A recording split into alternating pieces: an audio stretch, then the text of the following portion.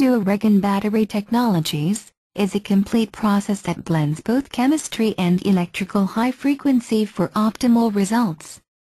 A simple explanation, an increasing buildup of sulfation occurs when the battery is drained of energy. Sulfation is a normal reaction when reloading or charging a battery. Part of the solid sulfate crystals turn into liquid. With agent saturation, lots of sulfate stratify and coat the plates in hard and dense layers resulting in suffocated batteries.